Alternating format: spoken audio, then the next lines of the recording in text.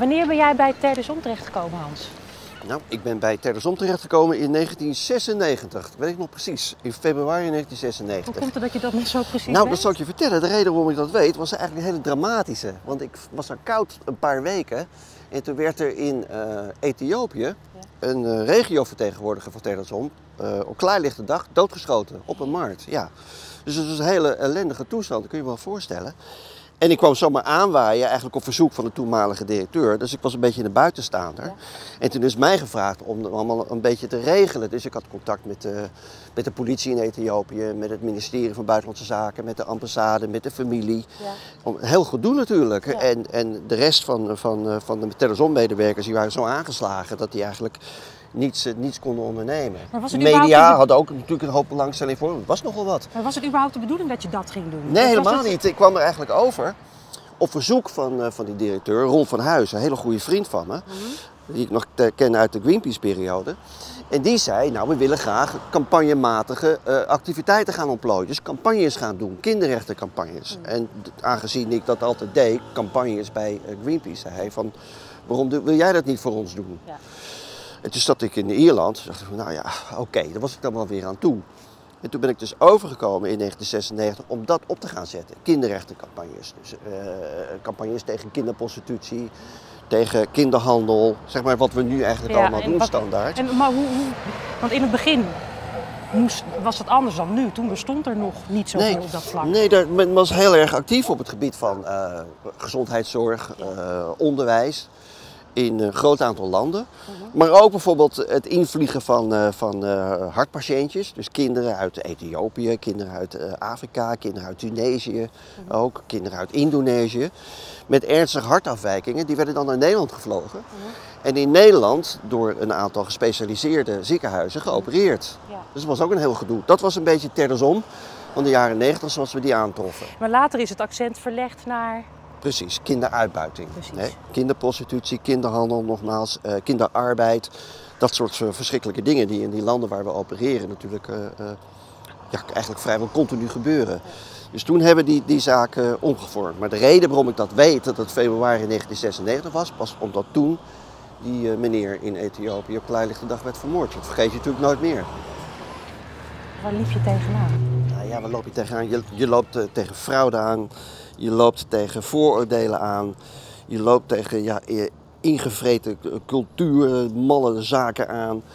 Je loopt tegen onwil aan, van alles nog. Maar tegen bureaucratie loop je aan.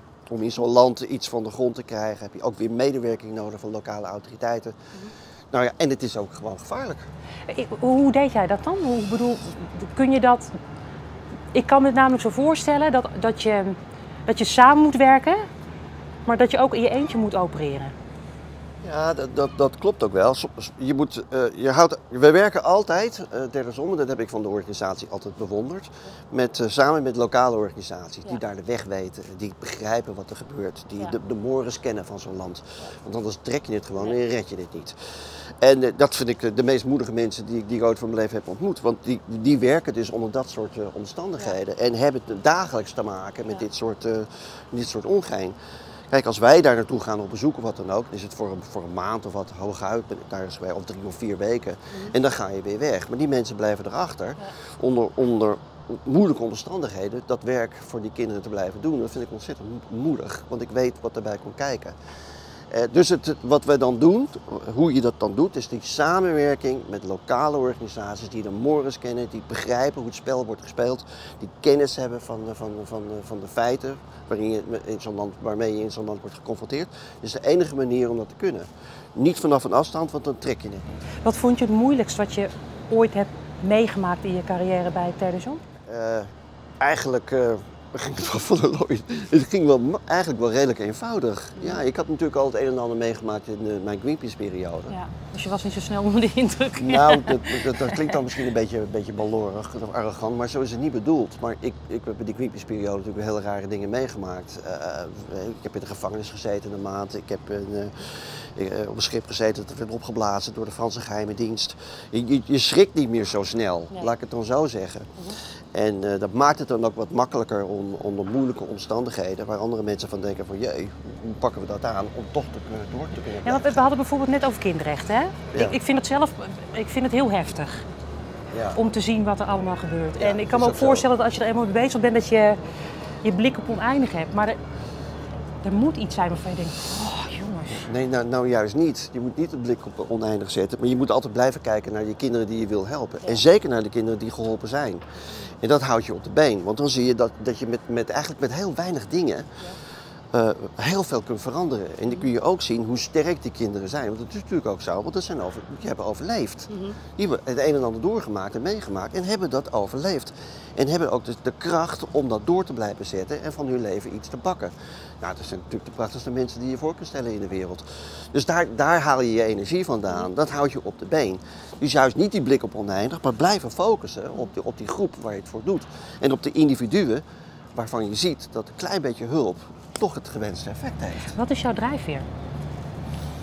Weet je dat? Ja, dat weet ik geen flauw idee. Nee, dat weet ik eigenlijk niet. Nee, dat is maar ik nog nooit gevraagd. Een drijfveer. Je bent ontzettend gedreven. Ja, is dat zo? Nou ja, dat, eh, dat, dat zal wel zo zijn. Nou, ik, ik, ik weet het eigenlijk niet. Ik, ik kom uit een, eh, uit een nest van mensen die eh, nogal dwars zijn. Laat ik het zo zeggen. En mijn vader, die toen gebroken heeft met de, met de hele strenge religie hier in, eh, in, eh, in Scheveningen. Dus dat was een hele dramatische toestand. En nou, hij was zo dwars dat hij, dat, dat hij daar niks meer wil, eh, mee te maken wilde hebben. Aartje nee, vaartje? Ja, eigenlijk wel, ja. Ik heb altijd wel bewondering gehad voor die man. En hij was getrouwd met een Amsterdamse.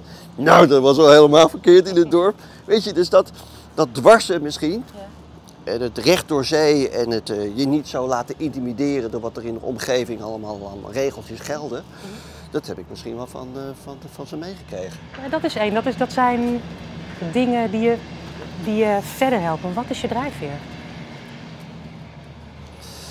Ja, ik kan niet tegen onrecht. Daar kan ik niet, daar kan ik niet tegen. Daar krijg ik, eh, ik krijg huiduitslag van. En ik, ik ben nogal snel kwaad. Dat is natuurlijk ook niet goed. Mijn zoons hebben het dan altijd over. Van, joh, daar krijg ik ook een dingetje van hem. Dat heet een... Ik weet niet of je die dingen kent. Nou, kan ik toevallig niet vinden. Hier, zo'n ding. Ja. En dan zegt hij, gebruik dat nou even. Want dan word je weer rustig van. En werkt het? Nee, helemaal niet. maar ik, ik, neem, ik stop hem dan altijd maar in mijn zak om hem dan een plezier te doen. En dat werkt. Ken je die dingen? Die zijn hartstikke ja. populair, of populair geweest. En dan, nou, dan ga je er zitten en dan helpt me dat om over mijn woede aanvallen. Anger management heeft dit altijd over. Knul is 15 jaar. Anger management, dus, dat, dat, dus ik ben nogal snel kwaad. Ja. Dat is slecht tegen onrecht. Daar kan ik absoluut niet tegen. Daar kan ik dus absoluut niet tegen. Op wat, wat voor terrein dan ook. Kun je iets opnoemen wat je het bijzonderst vindt van de afgelopen, nou pak een beet, 20 jaar? Jeetje mina. Nou, eh, ik heb, heb hele bijzondere dingen meegemaakt, moet ik zeggen, bij Terrazon. En, eh, en, en, nou, om maar een paar voorbeelden te noemen. We hebben toen een, eh, een, een boot laten bouwen in, in Bangladesh. Dat was wel een heel avontuur. Eh scheepvaart is een beetje mijn achtergrond. Ik heb zeven jaar gevaard, koopvaardij. Dus toen ik bij Terrazon kwam, en ik heb natuurlijk bij Greenpeace gezeten, toen ik bij Terrazon kwam, zei ik van nou leuk eh Terrazon, maar ik wil wel een boot hebben. En dat is dus een hospitaalboot geworden in Bangladesh. Dus helemaal in het zuiden van dat land, Ja. waar de rivieren uitmonden. En er wonen al- allemaal eilandjes en er wonen honderdduizenden mensen. Soms op een stukje modder, met een boompje erop en een hutje. En dat is dan hun, hun, hun eiland. Dat was dus heel erg leuk om dat te doen, heel erg bijzonder. Maar we hebben ook eh, dat voorbeeld hebben gevolgd, ook in Amazone. Nou ja, dat is natuurlijk een jongensdroom. Een boot in op de Amazone, in, midden in het oerwoud, om daar eh, arme mensen en zieke kinderen te helpen. Nou, kan, kan niet beter natuurlijk. En die lijn hebben we een beetje voortgezet, ook met een, eh, een eigen vliegtuigje. In het noorden van Kenia, dat is een van de mooiste stukjes Afrika. Ook heel bijzonder. Dan vloog je dus in de bush bush met een verpleegster. En dan landde je ergens midden in de woestijn. Je denkt, nou, er woont hier niemand. Maar dan maakte je een paar rondjes met dat vliegtuig. En dan kwamen alle hoeken en gaten kwamen mensen, kwamen vrouwen met hun kinderen om nagekeken te worden. Dat was ook heel erg eh, apart. Ja, en dan natuurlijk de afgelopen jaren, afgelopen vijf, zes jaar, met dat eh, Sweetie-project, waar we dus eh, zeg maar, kinderen in de Filipijnen hebben geholpen, wat nog steeds daarmee bezig zijn, die het slachtoffer zijn geworden van webcamseks. hè. Cyberseks noemen ze dat in de Filipijnen. Dan worden die kinderen voor de camera gesleept en er wordt ze van alles en nog wat eh, aangedaan, verschrikkelijke dingen. voor betalende klanten. Mensen, eh, individuen, kerels, die zitten dan ergens in de slaapkamer met een computertje en die betalen grif geld om zo'n kindje aangerand te zien worden live. Ja, je begrijpt het niet, maar dat, dat gebeurt dus. Nou, dat vond ik ook heel bijzonder om te, te mogen en te kunnen doen. Dus het is een lange lijst. Kun je iets vertellen over het ILO-verdrag? Nou, eind jaren 90 is dat een beetje begonnen. Uh, notabene op uh, initiatief van de Nederlandse overheid. Dat was de, weet je nou toch, Melkert, Ad Melkert. Die was de minister van Sociale Zaken van de Partij van de Arbeid. En ik was bevriend met uh, zijn voorlichter. We, zaten, we, dranken, we dronken samen in hetzelfde café. Nou, we zagen elkaar dus regelmatig, laat ik het zo zeggen. En uh, die uh, heeft toen het voortouw genomen om een conferentie te organiseren in Amsterdam. En daar nodigt die landen uit als Bangladesh en India, die gewoon grote problemen hebben om zeg maar, wetgeving aan te nemen op het gebied van kinderarbeid. Want er werken miljoenen kinderen. Ja, hallo, dus je kunt wel een wet aannemen. Als die in de praktijk niet uitvoerbaar is, dan, dan heeft het geen zin. En toen zei hij al van laten we nou kijken naar de meest ernstige vormen. Nou, dat is het voortouw. Er is het voorgeschiedenis geweest en dat heeft uiteindelijk geleid binnen een jaar tot een, dat internationale verdrag. Waarin dan werd geregeld en ook landen als India en Bangladesh het daaraan conformeerden om de meest ernstige vormen, zoals kinderslavernij, kinderprostitutie, kinderhandel, om dat te gaan verbieden. Nou, dat is gebeurd en dat was eigenlijk heel snel geregeld. Je had het, je had het net eventjes over uh, webcam, seks met kinderen. Ja. Ja. Het laatste project wat je gedaan hebt voor Teddysom is ja. Sweetie. Ja, dat klopt ja. Het Sweetie-project. Nou, dat uh, zat zo in elkaar. In een land als de Filipijnen zijn we toch al zo'n, uh, nou wat we denken, 15, 20 jaar heel actief. In de strijd tegen kinderprostitutie en kinderhandel, trafficking. En uh, dan was ik daar op een gegeven moment, 2011, 2012. En normaal gesproken was het echt in your face. Die kinderen die werkten op straat of in de hotels of de bars. Ja, er werd niet moeilijk over gedaan. Verdwenen. Nee, ja. eigenlijk niet mee. En ineens waren ze verdwenen. Dus daar dachten we van, nou, kwam wel voor, maar in veel mindere mate dan voorheen het geval was geweest. Ja. Dus we dachten, nou gaat goed dan. Hè? Want uh, de Filipijnse ja. overheid was wat actiever geworden, de politie was wat actiever. Uh, bedrijven konden hun, restaurants konden hun uh, vergunning verliezen. Mm -hmm. Weet je wel, als de kinderen werden aangetroffen. Dus we dachten, nou gaat prima zo. Ja, tot bleek dat die kinderen eigenlijk gewoon opereerden vanuit die zogenaamde internetcafés. Groot woord. Voor wat niet meer zo'n hutje met een golfdak, golf, een platendak stond een machine in, dan gooi je geld in, heb je toegang tot het internet. Hartstikke goedkoop, 24 uur per dag open, 7 dagen in de week. Geen, toegang, geen, toegang, geen, uh, geen toezicht, helemaal niks. Dus die kinderen, het waren dan teenagers, 13, 14, 15 jaar, die zaten daar uh, nou, een beetje te, te, kwekken met Amerikanen en met de Australiërs dan met name, ook met Europeanen. En er werd er onderhandeld over een prijsje. Maar hoe kwam jij erachter? Was je gewoon nou, naar binnen gelopen? Nou, ik kwam natuurlijk regelmatig op bezoek. Ja bij de partners en bij de organisatie waarmee we samenwerken. En die ook zeg maar, allerlei programma's gaan gewoon op straat. Hè. Die op straat gebeurt het, dus je moet op straat werken. Ja. Dus dan ging met ze mee, s'nachts of overdag, om uh, met die kinderen te praten, met die gasten. En toen bleek dus dat ze daar een verbinding zouden te maken, contact hadden. En dan werd er uh, onderhandeld over de prijs, werd er geld over gemaakt. Want je hebt daar overal van die Western Union-achtige bedrijfjes. Omdat er zoveel Filipino's natuurlijk in het buitenland werken. Die maken geld over. Dus op elke straathoek heb je zo'n kantoortje. Haalden ze het geld op. En dan, nou, dan begon de show. En er stond er één uh, juffrouw, uh, meisje van de jaren 14 met een handdoekje voor de ingang ja. de deur. En die andere die stond daar een show op te voeren. Ja, ongelooflijk. Dus dachten we, nou daar willen we meer vanaf weten. Dus toen hebben we dat uh, een beetje onderzocht. En toen bleek ook dat veel jongere kinderen eigenlijk door hun families, soms zelfs hun ouders, hun moeder dan met name, voor de camera werden gesleept, maar dan thuis. En daar gebeurden de meest verschrikkelijke dingen. Want zei de klant, klant die zei dan van nou leuk zo'n meisje van negen, maar ik heb liever een jongetje van vijf. Nou, dat hadden ze dan niet, klopten ze bij de buren aan. Die had wel een jongetje van vijf en dan slepen ze die voor de camera. Maar hoe onderzoek je dat? Want jij komt daar toch als grote witte man uit Nederland? Ja, of uit, ja, ja. Nou, dat doe je dan samen met uh, sociaal werkers, mensen die op straat werken, van lokale organisaties. En uh, die hebben dan de toegang, die hebben ook het vertrouwen van zo'n gemeenschap. Want anders uh, gebeuren natuurlijk de meest rare dingen als je hier aan kijkt. Ja. Anders kom je er ook niet in. En zeker niet als het achter gesloten deuren plaatsvindt, want dan kom je daar dan weer achter. Nou ja, via via konden we dat dan boven water krijgen. En toen bleek eigenlijk dat er van, van dit fenomeen, wat ze dan cybersex noemen in, in de Filipijnen, webcamsex, dat eigenlijk maar heel weinig mensen daarvan op de hoogte waren. Een paar individuen bij de, bij, uh, bij de politie, maar dan met name Interpol. Maar dat was het dan wel. Ja. Dus dacht ik, nou, dat moet even veranderen. Ja. Want en dit, hoe, is te gek voor woorden. hoe, hoe werkt dat voor zo'n ongeduldig type als jij? Want je moet, je, dit moet je echt hmm, heel rustig. gestructureerd aanpakken. Nou ja, toen ik er was geweest, uh, heb ik contact opgenomen met de Volkskrant. En die hebben toen een correspondent erop afgestuurd. En ik kwam een prachtig verhaal uit. Voor Begina, dit en dat. Maar ja, dat is alleen Nederland dan.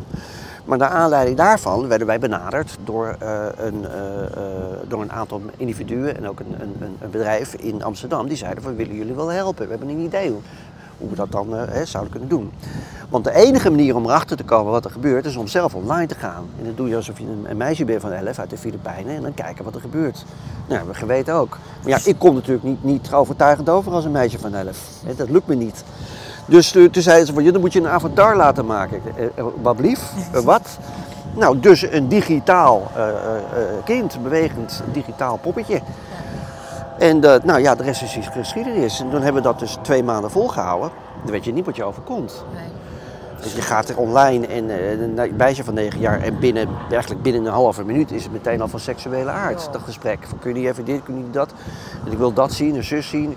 Weet je, heb je al borsten? Je weet niet wat je overkomt. Schrok je ervan? Ja, absoluut. Dat vond ik echt absurd. Het is echt bizar. Dat hou je niet voor mogelijk wat er op dat gekke internet gebeurt. Nou, in die korte periode zijn we meer dan 20.000 keer benaderd door mensen die echt niet over het weer in Manila wilden praten. Of, of we een fijne dag hadden gehad op school. Nee, dat was meteen van bam, seksueel gediend gesprek. En of we niet even nog het een en ander konden doen tegen betaling. Nou, dat hebben we een paar weken volgehouden, eh, totdat we duizend van die mensen hadden geïdentificeerd. Ja. Want ze hebben het altijd over privacy op het internet. En nou, dat is helemaal niet waar hoor. Zonder dat je het hackt, kun je achter heel veel informatie komen. Kijk, op het moment dat je zegt van joh, uh, de internetverbinding is slecht, maar uh, hier heb je de Skype-adres van mijn oom, daar zit ik over een half uur. Wat is jouw Skype-adres? En dan zijn ze zo gretig, ja. want dat gesprek met dat kind... Uh, redelijk makkelijk te overtuigen. En dan geven ze gewoon een eigen Skype-adres. En als je zegt van joh, dat heb ik niet zo goed begrepen, maar hier is mijn e-mail, kun je je Skype-gegevens via de e-mail sturen. Nou, dan heb je ook, die eikel doet het dan ook. Dan heb je ook nog eens een keer een e-mailadres. Zo zijn we achter de, uh, de, identiteit van die mensen gekomen. Duizend in een paar weken tijd. Nou, dan hebben we daar een paar maanden lang uh, naartoe gewerkt van hoe we dat dan wereldkundig konden maken. Nou, dat is ingeslagen als een bom. Tot op de dag van vandaag is dat, uh, wil ik zeggen, het onderwerp van gesprek. Maar men weet het wel. Zeker op de Filipijnen. En ook op de Filipijnen is men natuurlijk hartstikke geschrokken. Wat krijgen we nou? Wat gebeurt hier allemaal met onze kinderen? Dus er is ook de wetgeving aangepast. Het is prioriteit geworden van, uh, van de Filipijnse politie. Je hebt ook nu een extra uh, mandaat gekregen, een extra mensenkracht. Er zijn 150 nieuwe officieren, politiemensen aangetrokken. Om de strijd aan te gaan tegen dit fenomeen. Luister, want jij, jij, gaat, jij gaat nu weg. Is dat nou wel zo'n goed idee? Ja, dat is een heel goed idee. Ja? Waarom? Ja, nee, want ik heb namelijk een ambitie. Dat ik zo weinig mogelijk wil doen. En ik denk niet dat, dat is te hoog gegrepen volgens mij. Want dat gaat me niet lukken.